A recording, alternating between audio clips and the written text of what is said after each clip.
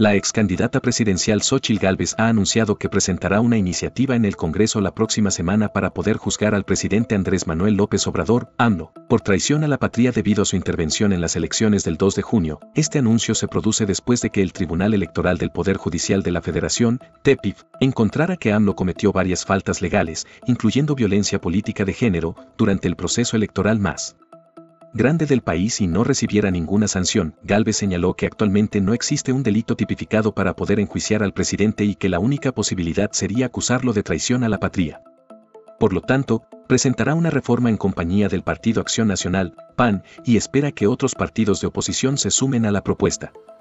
La senadora criticó la falta de acciones del Tribunal Electoral y cuestionó por qué no se resolvieron las faltas de AMLO antes de las elecciones.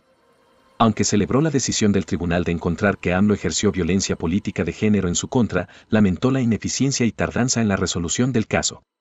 La iniciativa de Galvez podrá ser presentada en la próxima sesión de la Comisión Permanente del Congreso, que se realizará el 26 de junio, después de su reunión con el líder del PAN. Galvez hizo un balance de los resultados electorales y admitió que podrían haber hecho las cosas mejor.